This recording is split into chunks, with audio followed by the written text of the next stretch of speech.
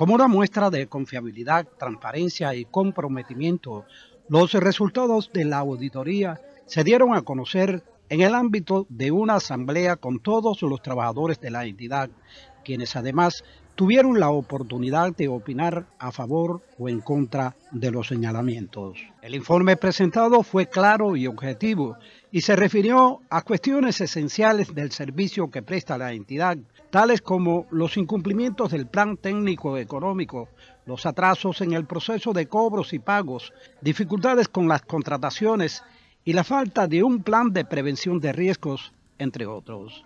A estos temas se refirió con un enfoque crítico el viceintendente José Luis Mancana. La falta de control de los medios de transporte.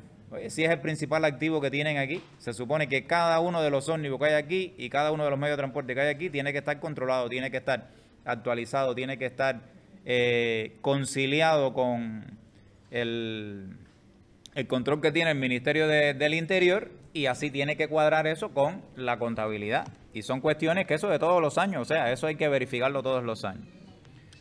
La, falta de plan de acciones para reducir las pérdidas, eso nos llama la atención porque esta empresa desde que empezó la tarea de ordenamiento está identificada como una empresa que opera con pérdidas.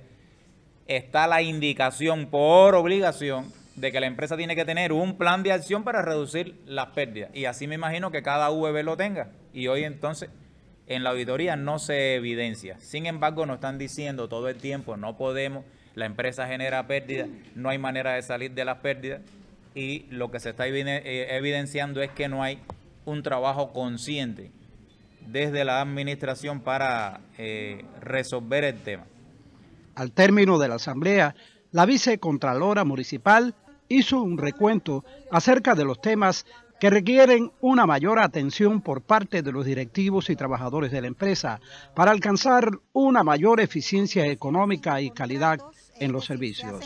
Se realizan pagos sin estar amparados por un contrato legal y eso es algo muy, muy importante porque la entidad debe eh, cuidar su, patrimonio, pero además eh, están creadas las causas para la ocurrencia de un presunto, aunque no se pudo constatar porque eh, usted está permitiendo un descontrol en lo legislado. Por lo tanto, esa es una de las aristas que tiene la entidad, que trabajar de inmediatez, porque es una de las eh, fundamentales deficiencias que tiene. Hay problemas en las cuentas por pagar, en las cuentas por eh, cobrar que están fuera de término.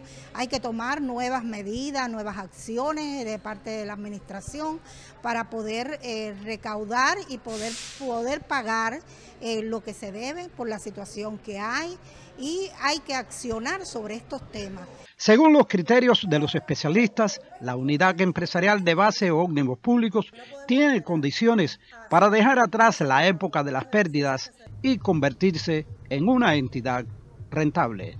Dagoberto Consuegra, Isla Visión.